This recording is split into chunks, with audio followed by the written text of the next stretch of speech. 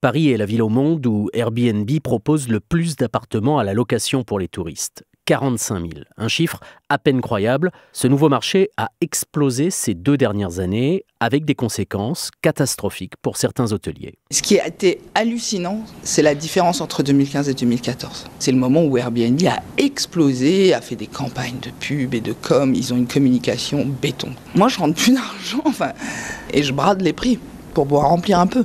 Au cœur de Paris, des milliers d'appartements sont transformés en meublés touristiques. Dans le Marais, c'est une valse continue de touristes et la cohabitation avec les habitants du quartier est de plus en plus difficile. Ce sont des gens qui sont en vacances, qui peuvent arriver la nuit, qui descendent les escaliers avec leur valise à roulettes, qui ont tendance à vouloir faire la fête, qui souvent sont plus nombreux que la capacité du logement le permet, et donc euh, qui sont une forme de trouble à la vie dans nos immeubles. Si Airbnb remporte un tel succès, c'est parce que cette activité peut se révéler extrêmement lucrative pour les propriétaires d'appartements. Dans le Marais, louer à la journée ou à la semaine à des touristes peut rapporter trois fois plus qu'une location traditionnelle.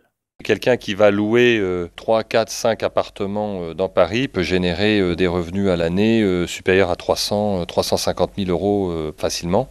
Donc on est dans une activité qui ressemble à celle d'une petite entreprise. Aujourd'hui, des immeubles entiers sont rachetés par des investisseurs qui les transforment en meublés touristiques, mais sans les déclarer. Donc en toute illégalité, la ville de Paris tente d'endiguer ce phénomène. On souhaite introduire de la régulation là où on a parfois l'impression euh, que règne le Far West. Nous, ce qu'on souhaite, c'est mettre un terme aux locations touristiques illégales, c'est-à-dire des logements qui étaient des logements auparavant et qui sont euh, devenus aujourd'hui des hôtels clandestins. Il y a aujourd'hui plus de 20 000 meublés touristiques illégaux dans la capitale, mais seule une quinzaine de propriétaires ont été condamnés en 2015.